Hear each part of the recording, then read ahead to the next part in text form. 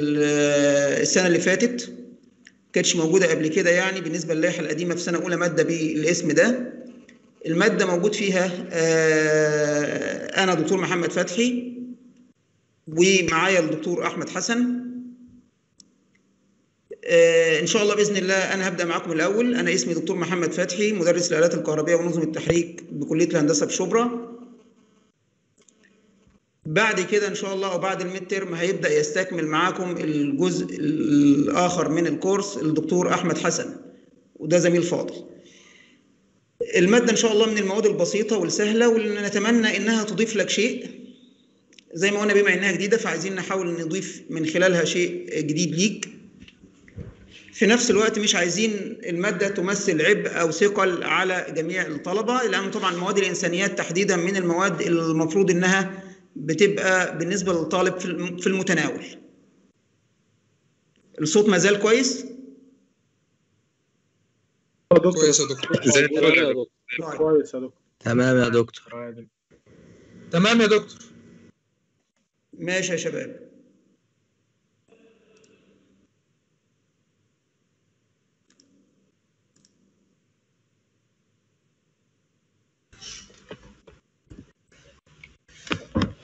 اتفضل.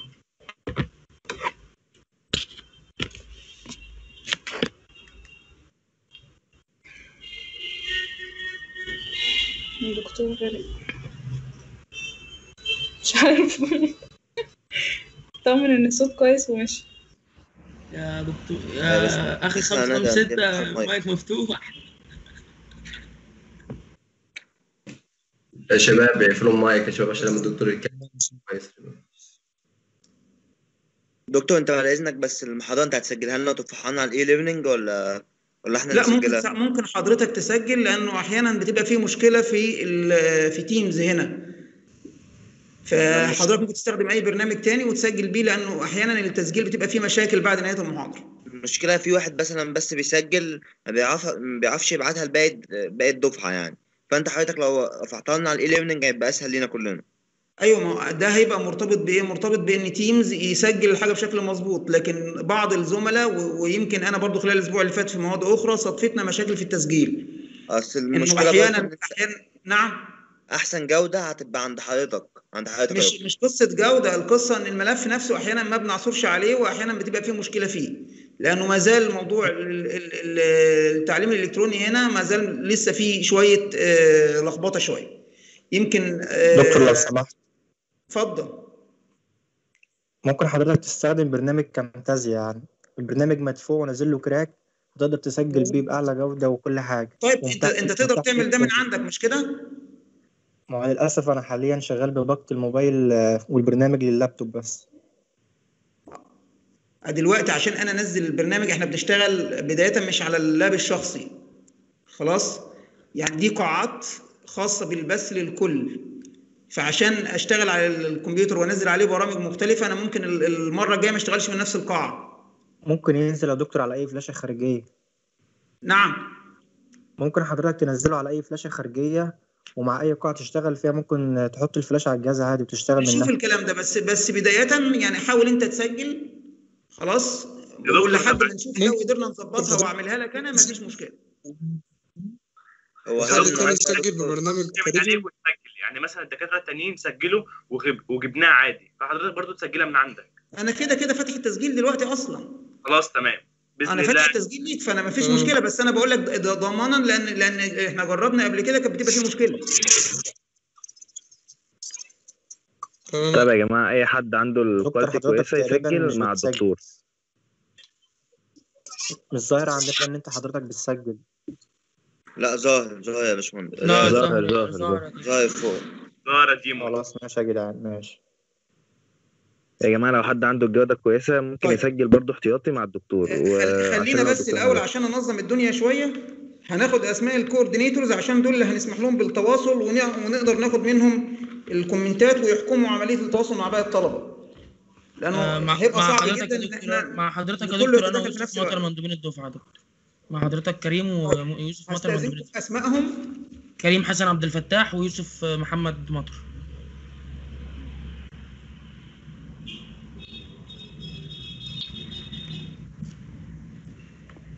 طيب تمام. الاثنين دول يعتبروا واحد مسؤول عن المجموعة الأولى والثاني مسؤول عن المجموعة الثانية يعني؟ ال sections الأولى وال sections الثانية أيوه أيوه مظبوط يا دكتور. طيب. جميل. بالنسبة لمقرر آه، بالنسبة لمقرر الإنسانيات إحنا طبعا الموضوعات اللي هنناقشها هتبقى متعلقة بال electrical safety وال risk management الأمان الكهربي وإدارة المخاطر. يمكن آه، مواد الإنسانيات تحديدا بالنسبة لقسم القوى على مدار السنوات المختلفة سواء تانية أو تالتة أو رابعة لأن طبعا زي ما قلت لك كانت موجودة مواد الإنسانيات في الفرق الأخرى يمكن أضيفت المرة دي للفرق الأولى بالنسبة للائحة الجديدة. لكن اللائحة القديمة كانت أولى ما فيهاش المادة دي. النظام المتبع في المعهد هنا إنه بيتم تدريس المادة بالعربي. ده ده ده ال- ال- اللي موجود في اللائحة. فإحنا هنحاول نمشي على نفس النسق عشان ما نشذش ما نشذش عن القاعدة اللي موجودة. آه، المادة زي ما قلنا بعنوان الأمان الكهربي وإدارة المخاطر الكود بتاعها humanities 132 طيب ال references اللي المفروض هنتعامل معاها يمكن في عندنا مجموعة من المراجع كلها متعلقة بال safety زي ما قلنا. في عندنا safety basics أو ما يسمى بأساسيات السلامة وده طبعا عبارة عن دليل طبعا عاملاه مؤسسة اسمها مؤسسة كوبر بوسمان. ودي عبارة عن شركة أمريكية خاصة بإنتاج ال protection devices زي ال circuit breakers زي الفيوز وخلافه. آه، في عندنا برضو handbook تاني خاص بال electrical safety ده ناشئ أو آه، عاملاه ال electrical safety authority أو هيئة السلامة الكندية. وفي عندنا طبعا آه، بعض الشركات الأخرى زي الشركة الأمريكية. اتفضل. حضرتك. هو أنت. حضرتك غيرت أول صفحة ولا لأ؟ نعم. يعني أنت حضرتك دلوقتي في صفحة رقم كام؟ في ال... في ال PowerPoint. لا إحنا لسه عندنا الصورة واضحة رقم واحد. آه كده تقدر تمام. يا أبو زيد تغير آه الصفحة تمام تمام تمام. طيب. إحنا قلنا ال references أو المراجع اللي هنتعامل معاها هي كلها عبارة عن مجموعة من ال handbooks أو مجموعة من كتيبات أو لو واحدة يا دكتور. اتفضل.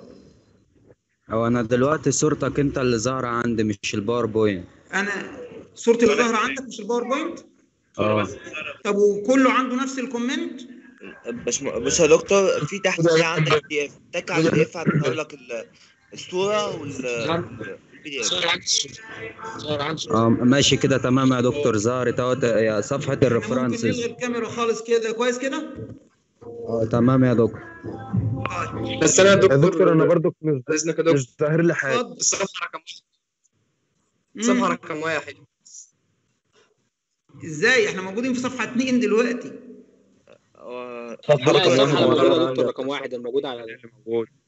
انت غير غير الصفحة. من عندك يا عم. في اوبشن تغير الصفحة. انت انت ممكن تغير الصفحة من عندك. منين؟ في سهم في تحت سهمين. تحت يا. في سهمين تحت حرك منه. تمام كده تمام. يا دكتور أنا مش ظاهر لي حاجة خالص. يعني مش ظاهر لي غير الكومنتات ام اف بس يعني حتى مش ظاهر لي الصورة الصورة الشخصية بتاعت حضرتك أنا مش ظاهر لي حاجة خالص. لا أنا الصورة الشخصيه أنا قفلت الكاميرا أصلا. أنا كده قافل الكاميرا. المفروض ما فيش صورة شخصية. أنا بقى مش ظاهر لي حاجة من أول المحاضرة. من أول ما حضرتك ابتديت لا شفت باوربوينت ولا حاجة. طب حاول تخرج وتدخل تاني يا باشمهندس. تمام حاضر. لو سمحت يا دكتور. خلاص كده يا رجاله؟ يا دكتور لو سمحت إحنا قلنا دلوقتي ان في عندنا مجموعة من المراجع. تمام كده يا دكتور.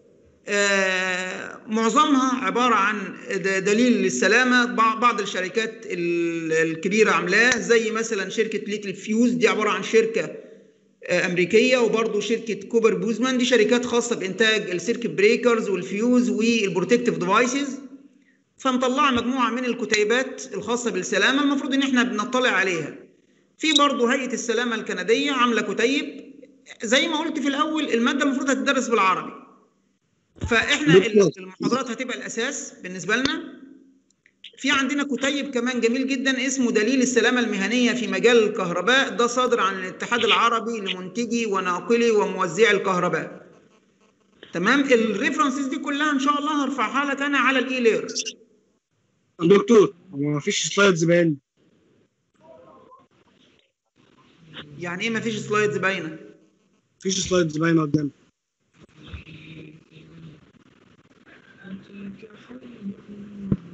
أيوه يا دكتور عندنا كمان ما فيش برضه. عندكم كمان مفيش slides باينة؟ ولا ولا ولا عندنا كمان مفيش سلايد عندنا زهرة يا دكتور. البي دي اف بيبقى موجود تحت يا جدعان. ولا دكتور. هو عندنا زهرة يا دكتور. اشتغل انت اللي بتزورها والله. ثانية واحدة يا باشمهندس. دكتور ممكن تعمل بدل ما تفتح البي اف تفتح البي اف من عند حضرتك انت وتعمل شير سكرين يا دكتور هي يا دكتور البي دي اف شغال سكرين كويس. شغال عنده كويس دلوقتي. شير سكرين للديسكتوب وافتح ال وافتح ال PDF من ال desktop. كده كويس؟ آه يا دكتور. كده آه آه تمام. تمام. تمام تمام كده تمام كده يا دكتور تمام. طيب.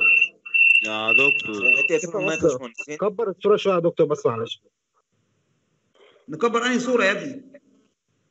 اللي هي بتاعت ال PDF ال- الصورة كبيرة مش مش ما نقدرش نكبرها. عن كده. حضرتك شغال على أصلاً. بالباور يا جماعة كان شغال في الأول كويس كان شغال كويس في الأول. اللي هو تملى البي دي اف والشاشة. يا دكتور دكتور الصورة راحت يا دكتور. كده يا دكتور. ربنا يعمل كنترول وبعدين يعمل بالماوس عادي. دكتور. الصورة رايحة عندي ولو كان شوية.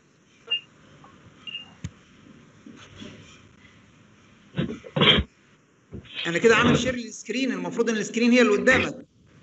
تمام. كده تمام. كده تمام. ال screen ظاهرة كده تمام. طيب. قلنا دي مجموعة من المراجع المتعلقة بالمادة. المراجع دي إن شاء الله بإذن الله هرفعها لك أنا على ال e-learn آه زي ما قلت المحاضرات هتبقى عبارة عن أجزاء من المراجع المختلفة دي. هنعتمد يمكن بشكل كبير على المرجع رقم خمسة اللي هو يعتبر دليل السلامة المهنية الخاص بمجال الكهرباء الصادر عن الاتحاد العربي زي ما قلنا لمنتجي وناقلي وموزعي الكهرباء.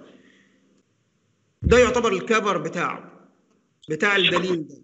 وده زي ما قلت هرفعه لك وهرفع لك كل المراجع دي على ال e-learn إن شاء الله النهارده. طيب. بالنسبة لي الويتنج في اسسمنت عملية التقييم بقى. إحنا المادة زي ما أنت عارف المفروض إنها عبارة عن 75 درجة. ده زي ما هو موجود في اللائحة. ال 75 درجة دول مقسمين على النحو اللي موجود قدامنا دلوقتي في ال slides دي. ففي عندنا final 50 درجه ده تقريبا بيمثل حوالي 66% تقريبا. وفي عندنا midterm حوالي 12 درجة. وفي عندنا quiz 1 و quiz quiz 2 المفروض إن هم خمس درجات لكل منهم. بالإضافة لل attendance ال quiz الأول وال quiz الثاني هيبقوا في الغالب اونلاين بنفس النمط ال- اللي أنت يمكن تكون مررت بيه قبل كده. quiz واحد في الغالب هنعمله ممكن في الأسبوع الخامس أو السادس. آه، quiz اتنين ده هيبقى بعد ال mid term فممكن يبقى في الأسبوع ال11 ده بالنسبة لي طب وال mid term هيبقى أونلاين؟ ال mid term لسه ده هيبقى قرار معهد يعني ال mid term ده هيبقى قرار ال- المعهد فاحنا لسه منتظرين هم هيعملوا إيه. لأن ال- ال- المعهد بيتدخل في امتحان ال mid term وامتحان ال final لكن ال quiz واحد دكتور، هو في وال quiz سكاشن اتنين المادة ديت؟ اتفضل يا باشمهندس. بالنسبة لل attendance سكاشن؟ مفيش سكاشن لل attendance attendance هنا. هيبقى على على مايكروسوفت team بيتاخد عند حضرتك إزاي ولا؟ المفروض آه، انه. المفروض إنه على team بيجيب لي ال... بيديني file بأسماء الناس اللي دخلت ودخلت إمتى وخرجت إمتى. طب أنا مثلا لو النت فصل عندي مثلا حصل مشكلة ودخلت تاني يعني ما فيهاش مشكلة؟ ما فيش مشكلة طالما أنت تواجدت. في جزء من تمام. المحاضرة أنا بعتبرك حاضر. تمام لو سمحت يا دكتور المادة كتاب نعم. وما لا. وما فيش سكاشن يا دكتور صح؟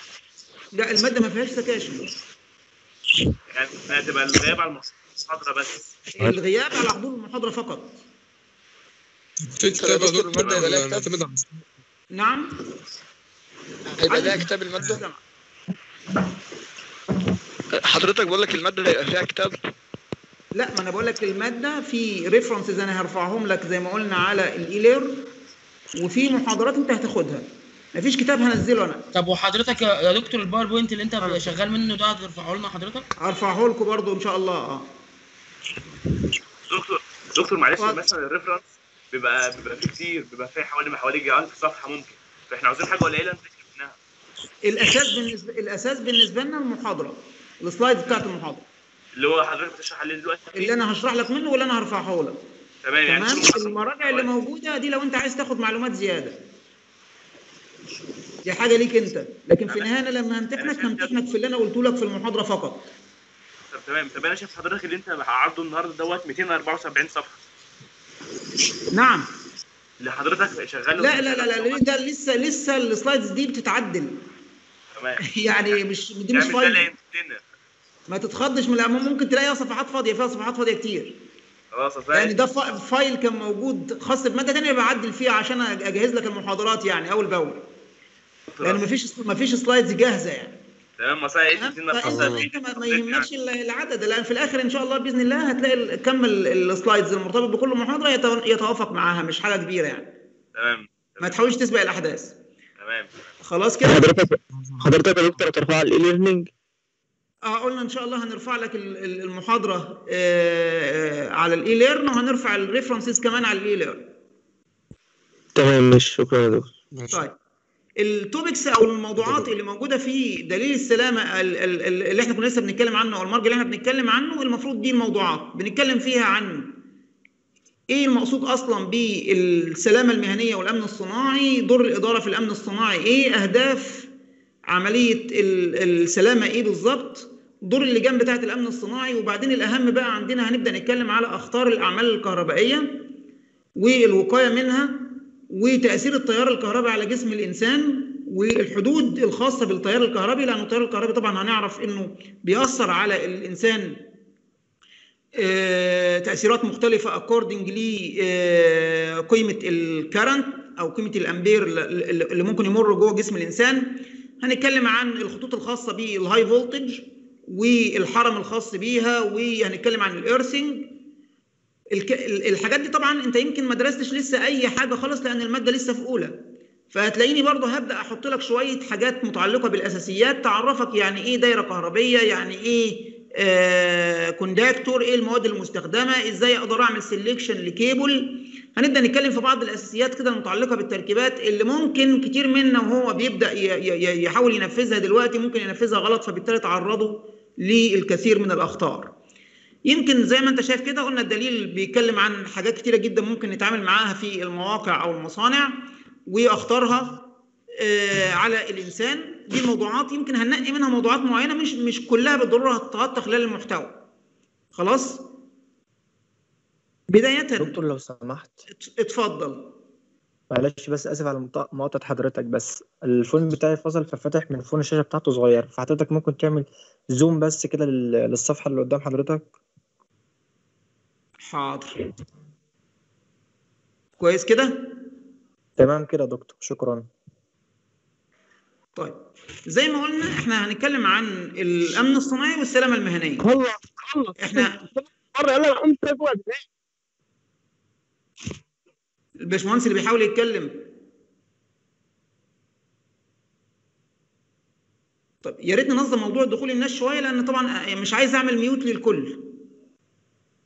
يعني عايزين الموضوع يبقى مفتوح بحيث إنك تشارك برضو ويبقى فيه تفاعل بس في نفس الوقت ما نضيعش وقت كبير. إحنا قلنا من شوية إنه العمل في المصانع والورش ومواقع العمل آه، طبعا ممكن تعرض الإنسان في النهاية لإصابات بالغه لو ما تمش التعامل بشكل حكيم ولو ما تمش اتباع تعليمات السلامة والأمان الخاصة بالمكان. يبقى أي مكان وأي موقع أنا هتعامل معاه لو أنا بتعامل مع موقع خاص بمقاولات مثلا أو بشتغل في مصنع خاص بشيء معين في تعليمات معينة المفروض إن أنا بلتزم بيها خاصة بالسلامة والأمان أو السلامه والامن الصناعي. آه، أي مكان مجهز كمصنع ليه متطلبات معينة بالإضافة طبعا لبعض المتطلبات اللي المفروض إنها بتتوفر في العامل. يبقى العامل المفروض بتتوفر فيه مجموعة من المتطلبات. بالإضافة للمكان نفسه اللي فيه العمل برضه ليه مجموعة من المتطلبات. يبقى لو أنا جيت اتكلمت عن متطلبات الصحة والسلامة في أماكن العمل اولا المبنى لازم يبقى واسع وبيتيح حرية الحركة والمعدات طبعا والآلات المفروض إنها تبقى مثبتة في أماكن بعيدة عن الممرات تسمح للناس إنها تتحرك وما تعكش الحركة. كذلك الحال لازم يبقى المبنى فيه تهوية طبعا جيدة تسمح بتحرك الهواء وما يحصلش تجمع للابخره والغازات الناتجة عن بعض العمليات الصناعية لأن في بعض العمليات الصناعية بينشأ عنها تجمع للغازات والدخان ممكن يأثر على الاعمال اللي موجودة. طبعا المكان كمان لازم يبقى فيه مخارج للطوارئ وتبقى سالكة ما تبقاش مقفولة وفي حاجات مخزنة فيها أو كراتين أو عربات أو حاجات وخلافه فبالتالي تبقى جاهزة لأنه في حالة الطوارئ يتم استخدامها. طبعا بالإضافة لوجود الطفايات الخاصة بالحريق ونظام الإطفاء الذاتي وطبعا ده يتوقف على طبيعة المصنع والمواد اللي بيشتغل فيها. بالإضافة لتوافر العلامات واللوحات الإرشادية طبعا والتحذيرية في أماكن العمل بشكل واضح عشان يبقى كل عامل عارف هو بيعمل إيه وعارف المكان اللي بيتعامل معاه مواصفاته إيه.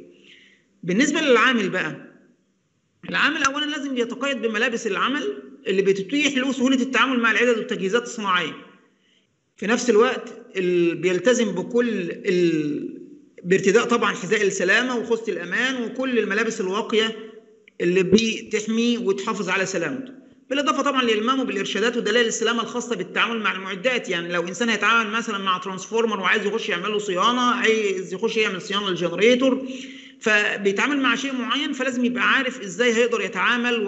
وال... قواعد معينة المفروض إنه بينفذها step by step. طيب مفهوم السلامة يعني إيه بقى؟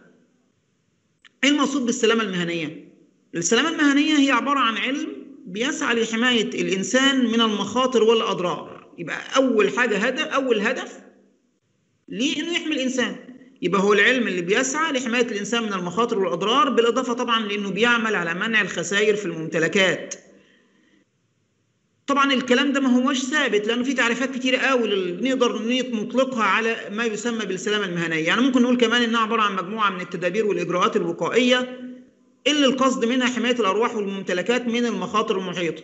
أو مجموعة من الأساليب الهندسية والتنظيمية بتهدف إلى حماية الإنسان والممتلكات، يبقى الهدف منها إنها بتحمي الإنسان والممتلكات أو المعدات. يبقى لما أجي أقول إيه أهداف السلامة هلاقي عندنا عدة أهداف، اولا أهداف إنسانية ودي بالدرجة الأولى أو دي الأساس بالنسبة لنا إن أنا بحاول أحافظ على حياة العامل أو الإنسان ده من الأخطار المحيطة به وأي أثر مترتب عليها سواء كان إصابة أو وفاة لا قدر الله. طيب في عندنا أهداف اقتصادية الهدف منها إن أنا طبعا بحاول أحافظ على المنشآت والمعدات طبعا بكل أشكالها بحيث إنه ما يحصلش دامج للمعدات دي بسبب سوء التعامل معاها وبالتالي هتبقى في كلفة اقتصادية كبيرة. اهداف صحية طبعا بتحاول تحافظ على الصحة العامة في بيئة العمل أو خارجه طبعا من عملية التلوث. يعني ما يبقاش المصنع عمال بيطلع ملوثات ومفيش أي تدخل للحد منها. لأن ده في النهاية هيأثر على البيئة المحيطة بالمصنع ده. المبادئ الأساسية لعملية السلامة، إحنا اتكلمنا عن تعريف السلامة وقلنا أهدافها للسلامة المهنية وقلنا أهدافها إيه؟ طب عشان أحققها في شوية مبادئ لازم تبقى موجودة أو في مجموعة من المبادئ لازم تتوفر. بنعدهم كده بإنهم خمس مبادئ. إيه هم الخمس مبادئ دول؟ أول مبدأ موجود عندنا إنه يبقى في عندنا إدارة قوية وفاعلة، دورها أو عندها ال ال ال القدرة على ترسيخ مفهوم السلامة، بتحاول تأكد على المعنى ده وتحاول تنفذه. طيب المبدأ الثاني إن أنا بحاول أعمل تنبؤ لمصادر الخطر والإصابات أو مصادر الخطر اللي ممكن تسبب إصابات طبعا داخل العمل وبحاول أسيطر عليها قبل ما تحصل مشكلة وقبل ما يحصل إصابات ناتجة عنها. طبعا المبدأ الثالث كمان يبقى في تخطيط وفي تنظيم وفي متابعة مستمرة وفي رقابة على القصة دي. المبدأ رقم أربعة إن أنا بحاول أنظم جوه المؤسسة هيكل إداري مسؤول عن عملية السلامة ومسؤولياتها وصلاحياتها. المبدأ الخامس إنه لو لا قدر الله حصل أي خطأ لابد إن أنا بعمل له تحليل وببدأ أعرف منه سبب الخطأ ده ده إيه وبحاول أعالجه بحيث إنه ما يتكررش مرة تانية. يبقى دي مبادئ أساسية المفروض إن أنا بحاول أرسخها عشان أقدر أحقق الأهداف اللي إحنا سبق وذكرناها بالنسبة لموضوع السلامة المهنية.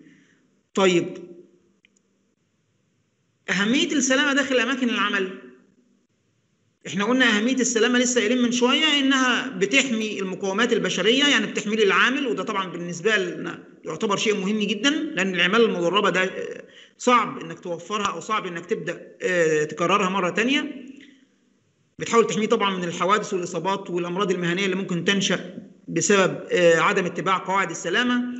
طبعا بتحافظ على مقومات الإنتاج من آلات ومعدات وخلافه. من التلف بتحاول تحافظ على بيئة آمنة طبعا خاصة بالعاملين وفي نفس الوقت العامل بيحس بالطمأنينة وبيحس باهتمام المؤسسة بيه. وبالتالي طبعا لو هو بيشتغل في مكان ومعرض للخطر بإنه بيتعامل مع معدات المعدات دي ممكن تأثر على حياته هيبقى بيحاول يخدم المؤسسة بشكل كويس جدا لأنه عارف ومطمئن إن المؤسسة حريصة على حياته. طيب المخاطر اللي ممكن تقابلنا داخل أماكن العمل. إحنا عندنا مخاطر كتيرة قوي. إحنا طبعا زي ما قلنا مين هنتكلم عن المخاطر الكهربائية؟ وهنبدأ نتكلم عنها بالتفصيل وهنبدأ نتكلم عن كيفية الحد منها والكلام ده كله. لكن عموما لو بنتكلم على المخاطر اللي ممكن تقابل أي عامل إحنا بنصنف المخاطر دي لمخاطر عدة مخاطر ميكانيكية وفي مخاطر كهربية. وفي عندنا مخاطر متعلقة بالأمور الطبيعية يعني وفي مخاطر صحية في حاجات كتيره قوي. المخاطر الميكانيكية زي إيه مثلا؟ زي سقوط الأشخاص. يعني ممكن يبقى شخص شغال في مكان مرتفع في موقع عمل معين في مكان مرتفع ويحصل له سقوط لا قدر الله. أو يحصل له انزلاق وهو موجود على سطح الأرض بس في بيئة معينة فيبدأ يحصل له انزلاق فيبدأ يحصل له لا قدر الله كسر أو ممكن حياته تتأثر. أو إن ممكن تسقط أجسام صلبة أو تقيلة على جسم العامل وتصطدم بيه. أو إنه يحصل مثلا تطاير لبعض الرائش في الموقع فبالتالي طبعا الكلام ده يأثر على الجلد أو يأثر على العين ويؤدي إلى حدوث إصابات أو جروح قطعية. أو المشي مثلا على الأجسام المدببة لو أنا بتكلم مثلا على موقع خاص بالمقاولات وخلافه هتلاقي نفسك بتتعامل في موقع ممكن تبقى معرض لإنك تدوس على أي مسامير أو تدوس على أي آلات حادة فبالتالي ممكن ده يأثر عليك بشكل كبير. أو لو أنت بتعمل صيانة لماكينة معينة ممكن يحصل انحشار للإيد أو الجسم نفسه داخل الماكينة دي فبالتالي طبعا يبقى فيه خطورة ميكانيكية على جسم الإنسان. طيب دي المخاطر الميكانيكية. المخاطر الكهربية ودي بنقسمها لشقين مخاطر على الإنسان وده الشق الأول بإنه الإنسان يتعرض لصدمة كهربية أو صعق كهربي. هنبدأ نتكلم بعد كده عن الصدمة الكهربية والصعق الكهربي بالتفصيل ونقول إيه المقصود بيهم ودول بينشأوا إزاي وإزاي هنحاول نمنعهم. طيب يبقى في مخاطر على الإنسان نفسه. طيب وإيه تاني؟ في مخاطر تانية موجودة في مخاطر تانية على المنشآت. برضو بنعتبرها مخاطر كهربائية. خلاص؟ طيب إيه المخاطر الخاصة بالإنسان؟ قلنا دي بتنشأ عن تعرض الإنسان لصدمة كهربية أو صعق كهربي ودي خطورتها على الإنسان بتتوقف على عدة عوامل. يبقى الإنسان لو تعرض للصعق الكهربي شدة الصدمة اللي هيتأثر بيها بتتوقف على عوامل كتير قوي أهمها إيه؟ أهمها إنها بتتوقف على كمية التيار المار في جسم الإنسان. يعني خلينا نسأل سؤال. لو أنا عندي دايرة كهربية معينة آه هنضرب مثل بسيط أقول مثلا عندنا لامب مثلا عندنا supply supply ده أنا بغذي منه load ال load ده عبارة عن lamp. فبالتالي لو أنا بتكلم على ال supply ده هلاقي طالع منه كابل خاص بال line واصل بال line رايح لل load وبعدين الكابل تاني راجع من اللمبة أو من ال load راجع تاني لل supply التيار الكهربي بيبدأ يمر من ال line لل load ويرجع تاني لل supply عن طريق ال neutral. يبقى عندي دايرة كهربية مغلقة بتتمثل في مصدر وحمل عبارة عن lamp مثلا وكابلين واحد رايح وواحد راجع. خلاص؟ وممكن يبقى في switch عشان أقدر أتحكم في ال load ده. لو أنا جيت لمست الكابل اللي رايح من ال supply لل load هل هتعرض للصعق؟ طيب لو أنا قررت نفس الكلام وعملته ولمست الكابل الراجع من ال load supply هل برضه هتعرض للصعق ولا لأ؟ ده السؤال بسيط قوي. سامعيني يا شباب ولا مش سامعيني؟ سامعينك يا دكتور. سامعينك يا دكتور. طيب. سامعينك. سامعينك يا دكتور. طيب يبقى دلوقتي لو أنا جيت لمست الكابل رايح أو الكابل اللي راجع أيهما فيه خطورة على الإنسان ولا الاثنين بيحملوا نفس الخطورة؟ اولا الدائرة اللي رايح يا الكهربية دي دكتور. آه ليه اللي رايح؟ عشان هي عبارة عن دائرة كهربية واحدة. آه. يعني شايله نفس عشان في- ال current. يعني لو أنا قست. التيار في الخط اللي رايح وطلع مثلا 1 أمبير وقسته في اللي راجع هلاقيه برضه 1 أمبير. يبقى ال current اللي مار في الخط اللي جاي من ال supply لل load هو نفسه ال current اللي راجع من ال load لل supply طيب زي ما انت قلت من شوية يا باشمهندس أو زي ما أحد ال- الزملاء من عندكم تفضلوا بيقول إنه آه اللي رايح من ال supply لل load هو الأكثر خطورة. هو ده اللي لو أنا لمسته هتكهرب لو لمست الخط الراجع مش هتكهرب. يبقى الكلام اللي بيقوله ده فعلا كلام منطقي وده بيؤكد انه التيار المار جوه الدايرة ملوش تأثير خالص على عملية تعرض الإنسان للصدمه الكهربيه أو الصعق الكهربي ليه؟ لأنه زي ما قلنا الخطين شايلين نفس التيار فلو كان التيار هو المشكلة يبقى المفروض تأثير الصدمة الكهربية لو أنا لمست الخط اللي رايح يبقى زيه زي الوضع لو أنا لمست الخط الراجع. طيب يبقى من هنا لو إحنا سألنا سؤال قلنا إيه اللي ممكن يخلي الإنسان يتكهرب؟ هل الكرنت ولا الفولتج؟ أولا مش ال current لأن الخطين زي ما قلنا ليهم شايلين نفس التيار. إجابات ثلاثة آه لكن ال- ال- المشكلة الكبيرة قوي أو اللي ممكن يكهرب الإنسان هو التيار الناتج عن جهد التماس اللي الإنسان ممكن يمسه يعني يعني مش التيار اللي مر جوه جوه ال- ال- ال- ال- الدايرة الخاصة بال load. يعني ال load مثلا زي ما قلنا كان بيسحب من ال supply 1 أمبير وبيرجع تاني لل supply بواحد أمبير. التيار اللي ماشي ده مفيش فيه مشكلة خالص. لكن اللي ممكن يأثر على الإنسان تيار تاني هيبدأ يمر في جسم الإنسان. التيار ده هيتوقف على مقاومة جسم الإنسان والجهد اللي الإنسان هيلمسه. فالإنسان لو لمس الجهد اللي جاي من ال supply رايح لل load أو لمس ال line يعني فبالتالي بيتعرض ل 220 فولت.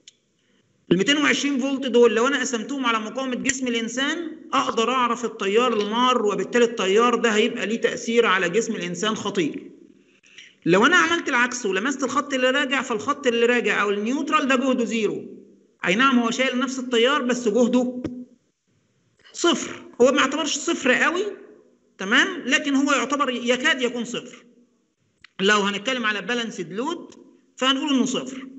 فبالتالي الجهد ده في النهاية مش هيمرر تيار جوه جسم الإنسان مهما كانت مقاومة جسم الإنسان قليله يبقى لو بنتكلم بقى مرة تانية على مخاطر الكهرباء أو تعرض الإنسان للصدمة الكهربائية والصعق الكهربي قلنا المخاطر دي هتتوقف على عدة عوامل. أول حاجة هتتوقف على مين؟ على كمية التيار. أنهي تيار؟ التيار اللي مر جوه الدايرة. اللي الإنسان لمسها لا. أمال أنهي تيار؟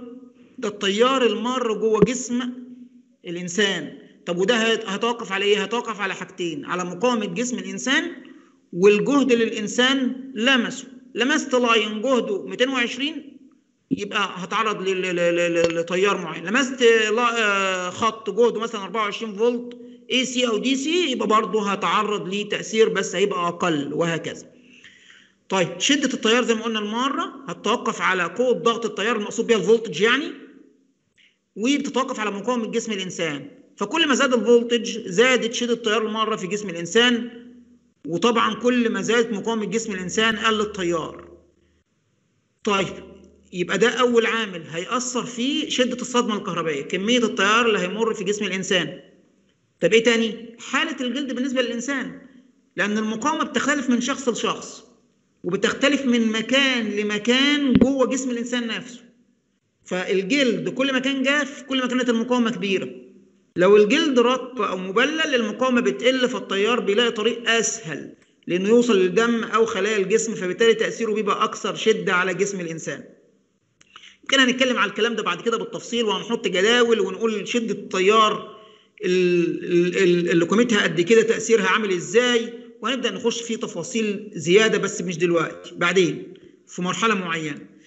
طيب إيه تاني؟ من ضمن العوامل كمان اللي بتحدد شدة الصدمة الكهربية أو تعرض الإنسان للصدمه الكهربيه العضو اللي بيمر فيه التيار.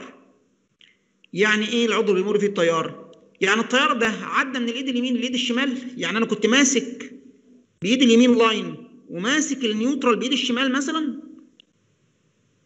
أو عدى من إيد لرجل أو عدى من صباع لصباع على حسب طبعا وضع التماس أنا ماسك ال ال ال ال أو حصل تماس إزاي بالظبط. فبالتالي حيوية الجزء اللي بيمر فيه التيار مهمه قوي يعني لو التيار مر في أحد الأطراف مثلا من إصبع لإصبع في نفس اليد تأثيره بسيط قوي ممكن يعمل رعشه أو حروق أو حاجات بسيطة هتبقى على حسب شدة التيار طبعا اللي هيمر. لكن لو التيار كان مساره إنه بيمر بمركز للجهاز العصبي أو بالقلب مثلا أو بأي جزء حيوي في جسم الإنسان وهنتكلم بعد كده زي ما قلنا على الجزئية دي بالتفصيل. ده في أشد الخطورة طبعا كتأثير. فالتيار ده يمكن الدراسات وجدت إنه لو تيار مقداره واحد على 10 أمبير يعني 100 ملي أمبير التيار ده مميت بالنسبة لجسم الإنسان. يعني لو التيار المار جوه جسم الإنسان أو أثناء عملية الصعق دي وصل للمرحلة دي لأنه بقى 100 ملي يعني واحد من 10 أمبير وده قيمة صغيرة قوي. تمام؟ القيمة دي كفيلة لأنها طبعا تودي بالإنسان للموت لا قدر الله. طيب يبقى العضو كمان ومسار التيار وده يمكن هنبدأ نحط رسومات بعدين توضح الكلام ده. إحنا ما زلنا بنتكلم على بعض ال- البدايات وبعد كده زي ما قلنا هنبدأ ندي شوية أساسيات متعلقة بالتركيبات الكهربية. وبعدين نبدأ نخش في التأثيرات بقى الخاصة بالصدمة أو الصعق الكهربي بالنسبة للإنسان بشكل أكثر تفصيل. طب إيه العوامل الأخرى اللي ممكن تخلي الصدمة شديدة أو مش شديدة؟ مدة سريان التيار جوه الجسم. فترة التلامس دي كانت قليلة ولا كبيرة؟ لأنه كل ما كان مدة التلامس أو التعرض للتيار الكهربي كبيرة كل ما طبعا كانت الحروق هتبدأ تزيد فمقاومة جسم الإنسان تقل فبالتالي التيار هيلاقي فرصة أسهل لأنه يمر الدم وخلايا الجسم فبالتالي الصدمة تبقى أكثر تأثير. يبقى اتكلمنا قلنا مرة تانية العوامل المؤثرة أو اللي. بتحدد شدة الصدمة قلنا كمية التيار اللي مر في جسم الإنسان وحالة الجلد وقلنا من شوية كمان العضو اللي هيمر فيه التيار أو مسار التيار جوه جوه الجسم ومدة سريان التيار جوه الجسم. بس كده؟ لا. ده إحنا عندنا التيار الكهربي في منه أنواع. في عندنا AC current alternating current وفي عندنا DC current أو direct current. ال DC current ده عبارة عن تيار ثابت الشدة والاتجاه وده بيبقى ناشئ عن البطاريات. لو أنا بتعامل مع بطارية ممكن أتعرض للتيار اللي من النوع ده. أو بتعامل مع بعض أنواع المولدات زي ال DC generator مثلا. آه، إنما باقي المصادر الأخرى في الغالب التيار الناشئ عنها بيبقى AC يعني لو بتعامل أنا مع أي outlet أو أي مخرج كهربي موجود عندي في البيت فالمصدر اللي موجود عندي في البيت هو AC alternating current source. أو alternating voltage source. فبالتالي بلاقي التيار هنا متغير الشدة متغير الاتجاه. تأثير التيار المستمر بيبقى أقل شوية من تأثير التيار المتغير وده آه، شيء معملي يعني تم تجربته. فبنلاقي إن التيار المستمر أو ال DC current بيبقى أقل شوية من التيار المتغير الشدة والاتجاه أو ال AC كذلك بالنسبة لل AC current مش كله ليه نفس الشده ده الموضوع بيفرق على حسب ال frequency إحنا عارفين طبعا ان التيار المتغير ده بيعكس اتجاهه وبيغير من قيمته كل شوية. ف بيمر عندي عدد معين من ال cycles خلال فترة زمنية معينة. عدد ال cycles في الثانية الواحدة ده بنقول عليه التردد بالنسبة للتيار. التردد اللي إحنا شغالين عليه هنا في مصر كام؟ كام هرتز؟ ها 50 إيه؟ 50 50 هرتز. 50 هرتز. 50 هرتز. بس طبعا إحنا عندنا بعض الأحمال بعض المحركات مثلا ممكن أشغلها على ما يسمى بال VSD variable frequency driver بيبقى driver ياخد ال 50 هرتز من ال supply ويغيرهم. يقللهم مثلا عشان أقدر أتحكم في سرعة المحرك مثلا على سبيل المثال. في عندنا بعض الدوائر الإلكترونية الأخرى ممكن تغير لي التردد وتزوده. فالتردد الثابت اللي أنا باخده من المصدر بشكل مباشر هو 50 لكن ممكن أتعامل مع ترددات مختلفة لو أنا بتعامل مع power electronic circuit عشان أحقق هدف معين زي ما قلنا زي ما أجي أعمل مثلا speed control وخلافه فبالتالي ممكن أتعرض لتيار بتردد 50 أو بتيار بترددات تانية. طب والتردد ليه تأثير؟ آه وجد إن كل ما ال frequency بيزيد كل ما التأثير أو الخطورة بتقل. يبقى لو ال frequency زاد التأثير بيقل لأنه التيار بياخد مساره هنا مع الدم بعيد عن الأعصاب لأن الأعصاب مكونة من مواد دهنية وبتبقى رديئه التوصيل للكهرباء شوية. لكن الدم طبعا جيد التوصيل لأنه فيه نسبة من الأملاح. يبقى مرة دكتور. اتفضل. رقم ستة ممكن تعيدها بس عشان لخبطت مني شوية. مرة تانية إحنا قلنا رقم ستة دي بتتكلم عن ال AC current اللي هو التيار المتردد. التيار المتردد ده عبارة عن تيار بيغير مقداره وبيغير اتجاهه. خلاص؟ وده بينشأ عن بعض المولدات. أشهر المولدات اللي بتديني التيار اللي من النوع ده بنقول عليها synchronous generator مولدات تزامنية. ودي المولدات اللي كل محطات الكهرباء في العالم بتعتمد عليها في التوليد. يعني نقدر نقول 99% من الطاقة الكهربية اللي بيتم توليدها في العالم بتتم عن طريق ال synchronous generators دي. عشان كده بنلاقي المصدر اللي موجود عندنا في البيت وال- واللي بنتعامل معاه دايما هو ال AC لأن ده ناشئ عن مولد زي ما قلنا تزامني. طيب التيار ده زي ما قلنا تردده كام؟ تردده عندنا هنا في مصر تردد الشبكة عندنا هنا في مصر 50 هرتز. إحنا بنعمل synchronization للمولدات بحيث إنها تشتغل وتديني جهد معين ثابت وتردد ثابت وبنتحكم فيها بشتى الطرق عشان نحافظ على الشبكة بحيث انه يبقى ليها constant voltage constant frequency بيبقى لها جهد ثابت وليها تردد ثابت. التردد الثابت عندنا 50 هرتز طيب التردد ده ال 50 هرتز ده ده دايما هتعامل معاه؟ آه أنا لو أتعامل مع المصدر بشكل مباشر هتعامل معاه. لكن أحيانا بنضطر لأن إحنا نغيره نقلله أو نزوده. إمتى؟ قلنا من شوية عندنا بعض المحركات الكهربية هتقابلنا بعد كده زي ال induction motors مثلا دي محركات شائعة الاستخدام. المحركات دي عشان اتحكم في سرعتها يعني عايز أتحكم في سرعة pump مثلا أو أتحكم في سرعة fan أو مروحة. بيدورها المحرك ده فبالتالي هعمل إيه؟ هغير التردد اللي داخل المحرك. فبضطر أغير التردد عن طريق إن أنا بحط converter في الأول. ال converter ده بنقول عليه VSD variable speed drive أو بيقولوا عليه في بعض الناس بتقول عليه VFD variable frequency drive بيبقى عبارة عن driver دوره إنه يغير التردد بشكل معين. فالتردد لما يتغير للمحرك السرعة يحصل لها إيه؟ تتغير. تغير التردد ده معناه إن أنا ممكن أتعرض لصدمة كهربية بتردد مختلف عن ال 50 عن ال 50 هرتز اللي أنا ممكن أتعامل مع ال supply بشكل مباشر وتبقى زي ما قلنا أو يبقى التردد 50 هرتز. في الحالة دي تأثير تيار تردده 50 هيبقى زي تأثير تيار تردده 20 لا. قلنا كل ما التردد زاد كل ما الخطورة بيحصل لها إيه؟ بتبدأ تقل لأن مسار التيار بيختلف. مسار التيار مع زيادة التردد بيبدأ يلجأ للدم بسبب زيادة الأملاح وطبعا الأملاح اللي بتخلي بتخلي الدم زي ما قلنا جيد التوصيل. لكن الأعصاب شوية بتبقى مواد دهنية ليها مقاومة أعلى فبالتالي إيه تعامله معاها بيبقى أقل شوية. يبقى تاني قلنا المخاطر الكهربائية ودي يمكن خدنا فيها وقت زيادة قوي. إحنا المخاطر ال- ال- ال- زي ما قلنا الميك- الميكانيكية عديناها بسرعة لكن الحاجات الأساسية بالنسبة لنا هتلاقينا بناخد فيها وقت. وإن كنا هن... هنبدأ نستفيد في الكلام ده بعد كده بالتفصيل وهنبدأ نديك أساسيات الكلام. ده مرة تانية قلنا المخاطر اللي بتنشأ على الإنسان نتيجة للصدمة الكهربيه بتتوقف على عدة أمور. اولا بتوقف على كمية التيار. أنهي تيار؟ تيار اللود اللي الإنسان لمسه. قلنا لا ده التيار اللي مر جوه جسم الإنسان. يعني اللود واخد 1 أمبير لكن الإنسان لما لمس منطقة معينة جوه الدائرة الكهربيه مر فيه تيار 50 مللي يبقى ال 50 مللي هم دول اللي هيأثروا في جسم الإنسان مش الواحد أمبير. مالناش علاقة الواحد أمبير ده رايح للود. خلاص؟ قلنا طبعا كمية التيار مر في جسم الإنسان وده متوقف على ال voltage ومتوقف على مقاومة الجسم قلنا حالة الجلد وقلنا بتفرق طبعا اتكلمنا كمان عن مسار التيار جوه الجسم وده هيفرق على حسب العضو والتيار هيمر منين لفين وقلنا التيار المتغير أو ال AC current اللي شدته 1 من 10 أمبير أو 100 مللي زي ما قلنا ده بيعتبر تأثيره مميت. طيب قلنا من ضمن العوامل كمان مدة سريان التيار في الجسم. فكل ما كانت المدة طويلة كل ما كان التأثير شديد لأنه طبعا زي ما قلنا هتبقى فيه حروق والمقاومة هتبدأ تقل مع مرور الوقت فالتيار يزيد أكتر فبالتالي يبدأ يحصل تأثير أكثر خطورة.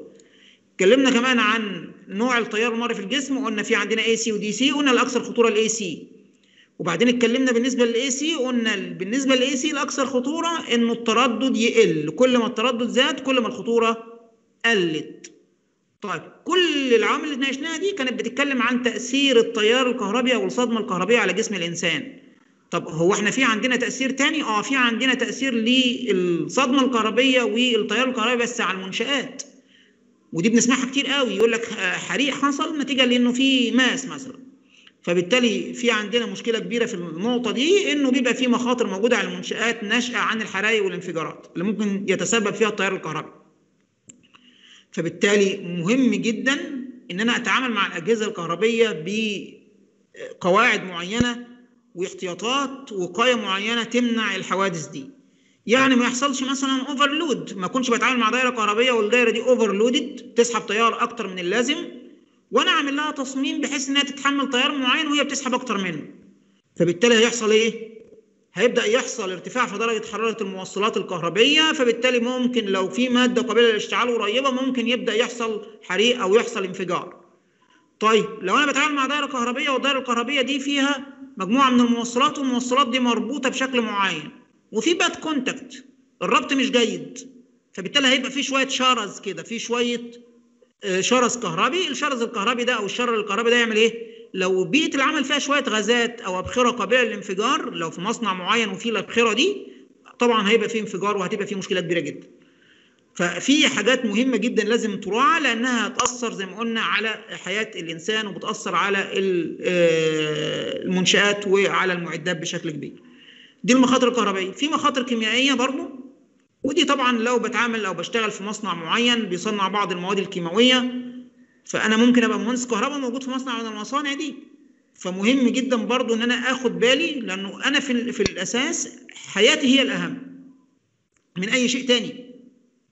يعني للأسف يعني بنحزن جدا لما نلاقي الشباب لسه متخرجين وبيتعاملوا مع بعض المصانع وممكن لا قدر الله آه، خطأ بسيط يودي بحياتهم. فده شيء آه، مؤسف. ال- المخاطر الكيميائية بتنقسم إلى إيه؟ بتنقسم إلى مخاطر ناشئة عن اتصال المواد السائلة الكيميائية طبعا بجسم الإنسان. إنه يكون بيتم تداول بعض المواد الكيميائية يدويا بيتم حملها أو خلطها فبالتالي يبقى فيه التهاب أو تقدر تنفذ لجسم الإنسان. أو إنها تنسكب طبعا على بعض أجزاء الجسم فبالتالي في تعليمات معينة في بيئة العمل دي لابد من اتباعها. أو ممكن تتطاير المواد دي على هيئة رذاذ طبعا يأثر على الوجه ويأثر على اليدين والعينين طبعا.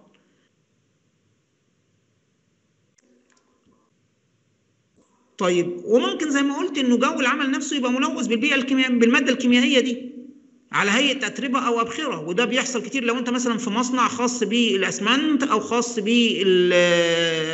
بالنشادر مثلا أو السلفة هتلاقي فيه عندك أبخرة وفي أتربة وفي ده طبعا بتأثر بشكل كبير على الجهاز التنفسي بشكل كبير جدا. يمكن المصانع دي غالبا الدول ال- ال- المتحضرة بترفض وجودها عندها خشية على حياة العمال. إيه، فإحنا طبعا لما بنيجي نتعامل مع الحاجات دي لا لازم ان إن أنا ألتزم بقواعد السلامة عشان أحمي نفسي بال- بالأساس. إيه، طبعا ال- الأتربة والغازات ال- ال- المنبعثة دي هتبدأ تؤدي إلى حدوث التهابات الاغشيه المخاطيه وطبعا هتبدأ تأثر على الرئة بشكل كبير جدا ومع مرور الوقت وبالإضافة لتأثيرها على الجلد. فبالتالي طبعا لابد من الحماية منها بشتى الطرق. في عندنا مخاطر طبيعية زي مثلا الحرارة أو البرودة ودي مرتبطة ببيئة العمل إن أنا موجود في مكان المكان ده فيه عمليات احتراق وتسخين فبالتالي هيبقى فيه ارتفاع لدرجه الحرارة دي ممكن تؤثر زي ما قلنا على العين تؤدي إلى حدوث بعض الالتهابات في القرنية أو شبكة العين وخلافه أو ممكن تسبب حروق لا قدر الله. خلاص فدي نقدر نتعامل معاها. الأمور الطبيعية دي سهل إن إحنا نحاول نقدر نتعامل معاها وبرضه في rules خاصة بالتعامل معاها من ضمن الحاجات كمان الضوضاء لو أنا بشتغل في مكان فيه ضوضاء في مجموعة من معدات الوقاية اللي المفروض ان أنا بستخدمها والمفروض طبعا في عندنا كود بيحدد لنا نسب التعرض للضوضاء والمدد بتاعتها قد إيه. يعني لو أنا هشتغل وهتعرض للضوضاء لمدة 8 ساعات يبقى المفروض إنه المنسوب بتاع ال- ال- الصوت ما يزيدش عن حد معين أو مستوى الصوت ما يزيدش عن حد معين. في جداول خاصة بالكلام ده وفي معدات خاصة بالوقاية يمكن هنناقشها في جزء من المقارنة. وبرضه من ضمنها الأمطار والرياح وخلافه المخاطر الصحية قلنا المقصود بيها صحة الإنسان وإن يبقى الإنسان نفسه آه، صحته جيدة وده طبعا شيء مهم لابد من عمل اختبارات للعمالة بشكل آه، متكرر للحفاظ على حياة الإنسان نفسه. طيب. آخر جزئية المقصود بها المخاطر الشخصية.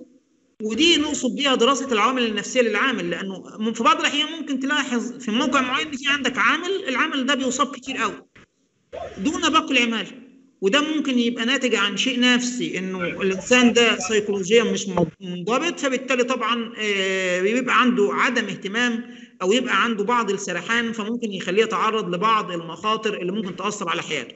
فمهم جدا إنك تكون بتتابع الناس أو على الأقل تتابع نفسك لو أنت موجود في الموقع بحيث إن أنت ما تتعرضش لا قدر الله أنت للمشكلة دي. خلاص؟ دي المخاطر اللي ممكن يتعرض لها الإنسان. يمكن لو حبينا نوجزها كده بشكل سريع قلنا في مخاطر كهربية خاصة بالالتماس بالتوترات المختلفة وقلنا في عندنا خوا... آه، مخاطر خاصة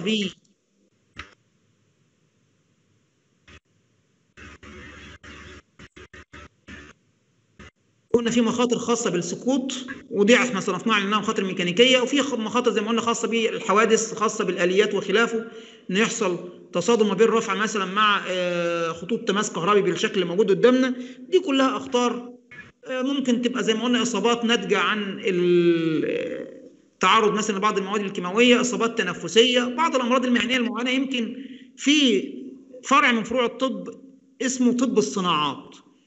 يمكن بعض الأطباء متخصصين في الكلام ده لأنه كل مهنة لها أمراض معينة فبالتالي هم بيبقوا ملمين بالكلام ده وعارفين القصة دي ومن خلالهم بيتم آه، صياغة بعض الكتيبات اللي من خلالها بيتم الحفاظ على حياة العمال. طيب أختار الآلات والمعدات إحنا قلنا في عندنا آلات ومعدات يدوية كتير جدا بنستخدمها وبتقابلنا كتير قوي في معظم الصناعات التعامل مع الآلات دي بشكل غلط ممكن يؤدي إلى حدوث إصابات بشكل كبير جدا. زي إيه مثلا؟ زي إن أنا أستعمل آلة في أو عدة غير مناسبة للعمل. يعني واحد هيستخدم مبرد مثلا عشان يستخدمه كرفع أو عايز يستخدم آجنة يفك بيها صواميل مثلا.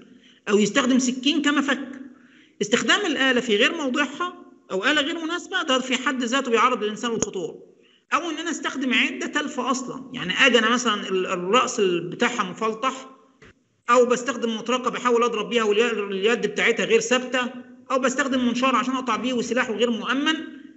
عشان كده مهم جدا لما باجي أتعامل مع آلة قطع إن أنا أصمم دايرة التحكم بحيث إن أنا أحمل عامل. يعني عندي مثلا واحد شغال على منشار كهربي. مهم جدا انه إن أنا أخلي العامل ده إيديه تبقى مو- موجودة في مكان معين. لأنه لو لا قدر الله سرح أو سهي ممكن وهو دايس ومشغل الآلة ممكن إيده الثانية تروح على سلاح المنشار. عشان كده الآلات دي دايما بنصممها أو بنراعي في دوائر التحكم بتاعتها إنها لما تيجي تشتغل لازم الإنسان يشغلها بإيديه الاثنين يعني لازم يدوس بإيده الأولانية على مفتاح موجود في مكان معين وإيده الثانية على مفتاح موجود في مكان آخر. لو شال إيد منهم تفصل بحيث إن أنا أبقى ضامن طول الوقت وهي شغالة إنه ايديه الاثنين موجودين في المكان اللي أنا عايزه عشان ما يتعرضش للخطر.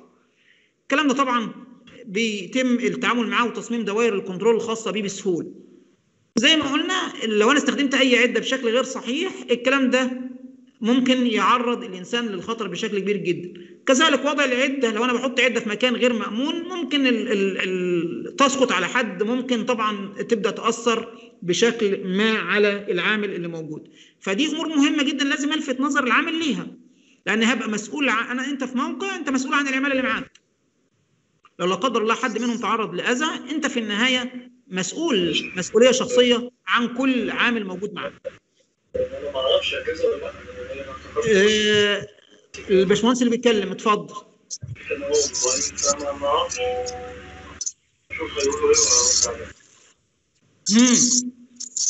هو تقريبا تقريبا فتح المايك لغايه يا دكتور اسلام إسلام صلاح عبد الحميد يا ريت تقفل المايك.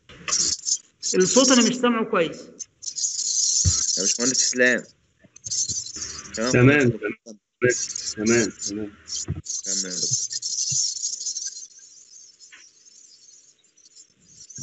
هو في ار معايا يا شباب؟ دلائل اللوحات الارشاديه قلنا لو أنا بركب أي أجهزة كهربائية زي المحولات مثلا زي لوحات التوزيع ال MDB مثلا لوحات التوزيع الرئيسيه أو بركب circuit breakers أو محركات أو أي معدات كهربية مهم جدا إن أنا أحطها في مكان ما يحصلش فيه تماس ما بينها وما بين الأفراد اللي موجودين في المكان ده. فبتبقى دايما الأماكن دي مصممة بحيث إنه نقط ال- الاتصال أو الكابلات تبقى ماشية جوه مجاري خاصة ما يبقاش في تماس معاها لسهولة عملية المراقبة في نفس الوقت بتحاط المعدات دي بحواجز ولوحات إرشادية عشان تمنع أي شخص من التعامل معاها وما يقربش منها غير الشخص المتخصص اللي عارف إزاي يقدر يتعامل مع ال equipment دي. يعني مش أي حد يقدر يقرب من transformer مثلا. فدايما بيبقى موجود في مكان وفي لوحات إرشادية وفي علامات تحذيرية خاصة بالقصة دي. اللوحات الإرشادية طبعا بتبقى مصنوعة من هياكل خشبية أو معدنية ومعزولة. وغير قابلة للحريق وفي نفس الوقت عليها تنبيهات معينة المفروض إن الإنسان بيلتزم بيها المفروض إن اللوحات الإرشادية دي طبعا زي ما قلنا في بعض الأحيان بتبقى مزودة بنظام إضاءة أوتوماتيك عشان خاطر يمكن الإنسان من الانتباه في أوقات معينة. اللوحات الإرشادية طبعا بتختلف على حسب طبيعة العمل. في لوحات إرشادية بتشير إلى عمليه التركيب لو أنا بركب حاجة لسه جديدة. في لوحات إرشادية بتبقى موجودة داخل المنشأة نفسها في أماكن مختلفة. لوحات إرشادية بتشير لي إنه في عمليات صيانة معينة. لو أنا بعمل صيانة على معدة معينة فبتحط لوحة إرشادية بالكلام ده.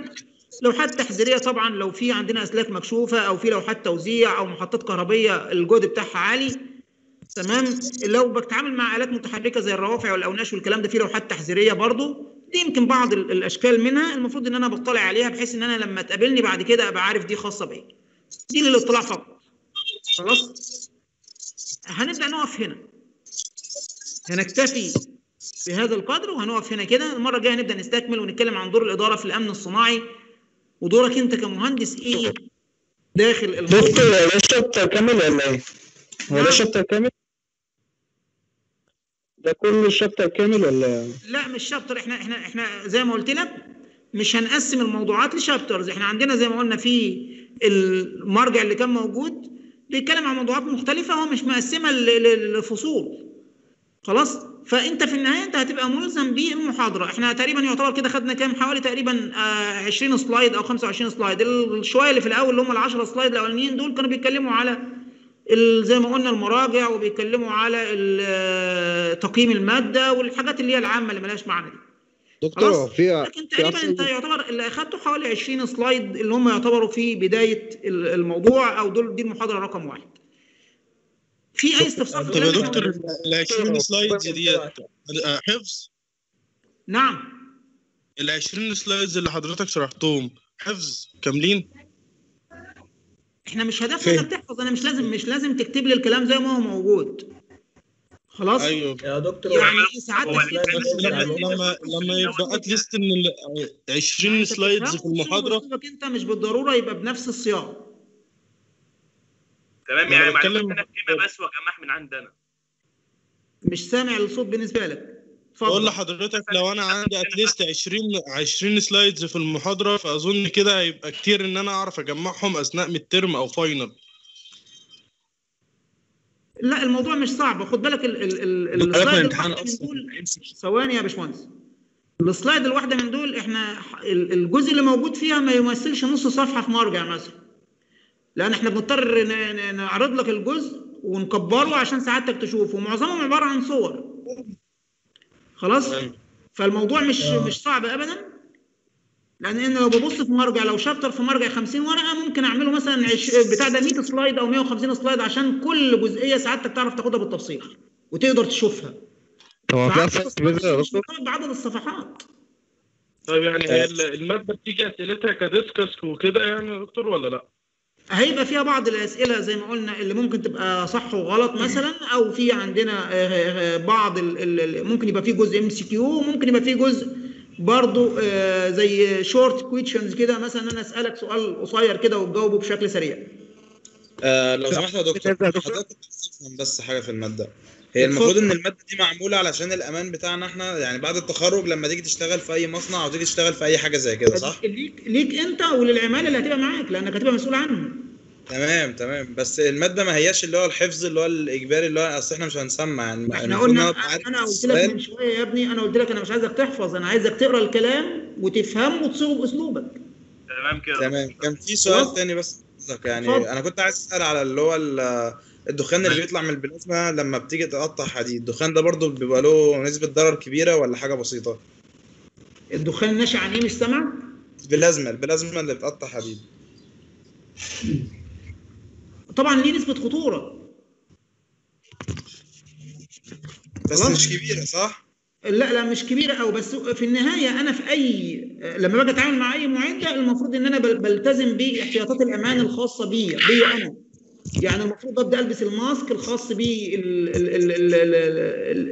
دوت وببدا ألتزم بكل معدات الوقاية عشان أبقى في أمان.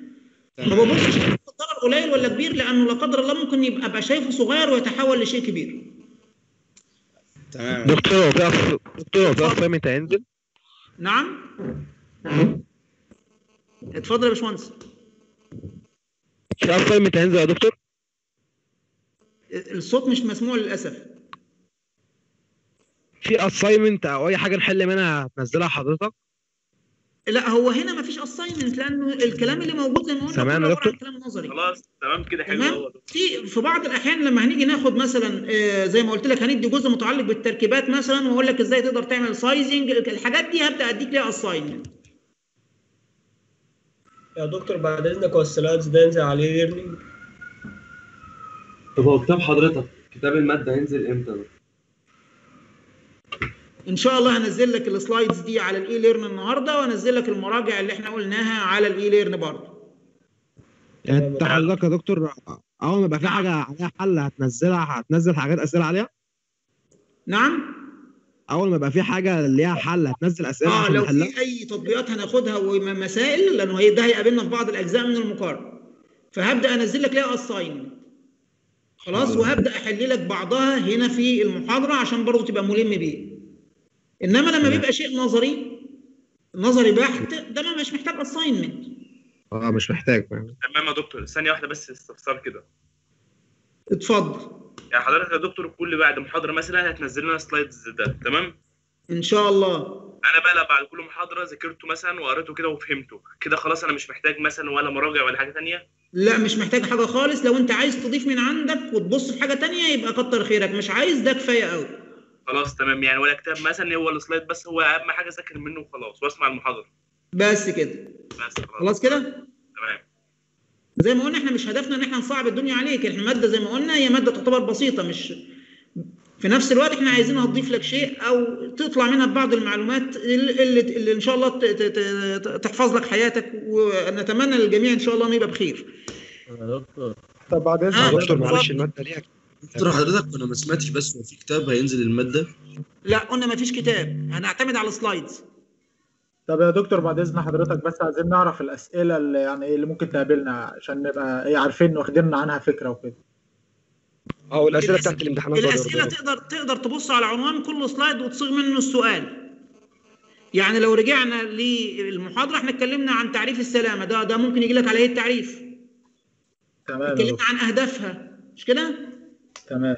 اتكلمنا عن الأخطار فدي دي كلها ممكن تجي لك على هيئة أسئلة. إيه الأخطار اللي ممكن يتعرض لها الإنسان؟ أو إيه إيه شكل الأخطار الميكانيكية؟ الأخطار الكهربائية شكلها عامل إزاي؟ طب ال- الصدمات الكهربائية اللي تعرض لها الإنسان بتتوقف على إيه؟ اتكلمنا عن عدة عوامل وقلنا بتأثر في شدة الصدمة. فدي كلها حاجات. أنت لو قريت الكلام النظري أنت نفسك تقدر تحوله لسؤال تقول هو ممكن يجي لي الكلام ده إزاي؟ عليه سؤال. سهل قوي تجيبه يعني. تمام. يا دكتور لو سمحت. معلش يا دكتور. اتفضل. دكتور معلش يا دكتور. آه، ممكن ال final ممكن إيه؟ آه، تعمل لنا حضرتك quiz تجريبي من غير درجات وكده بحيث نفهم طبيعة الأسئلة. هو أنا فهمت حضرتك عايز تقول إيه بس يعني لو, لو يعني لو عملت quiz تجريبي أظن الكل هيستفاد أكتر والناس هتفهم أكتر طبيعة الأسئلة هتيجي إزاي. طبيعة الأسئلة دي زي ما قلنا ممكن نحاول نديك زي محاضرة قبل مثلا ال midterm نوضح لك فيه الكلام. خلاص؟ دلوقتي إحنا بنتكلم لسه بنشرح مفيش مفيش أسئلة ولا في حاجة مش عايزين ندخل الموضوع أو موضوع القلق عند الناس بحيث إنها تبدأ تفكر في الامتحان من دلوقتي. خلاص تمام. أنت اقرأ بس ال slides وحاول تفهمها. قبل الامتحان إن شاء الله هبدأ أقول لك ده الأسئلة ممكن تجي لك MCQ ده الأسئلة ممكن تجي لك كذا هبدأ ساعتها أوضح لك وأديك hint يخلي الموضوع بالنسبة لك يبقى أبسط. تمام. خلاص شكراً. تمام كده يا دكتور أهو. شكرا. خلاص؟ تمام. طيب نلتقي على خير إن شاء الله. يا بالتوفيق لكم جميعا. شكرا. السلام عليكم. دكتور. إيه يا عم إيه يا باشا؟ هو يا جدعان في محاضرة كمان ولا إيه؟ يا جدعان؟ مكتوب انترنت. تاني لا خلاص يا